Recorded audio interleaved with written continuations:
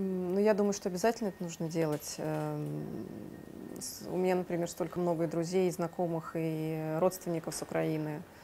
Как эффективно? Ну, наверное, в пос- помощь в посольстве должна быть. Я думаю, что дать больше людей, эм, какие-то льготные условия сделать для именно для, для граждан Украины. Ну, мне кажется, так.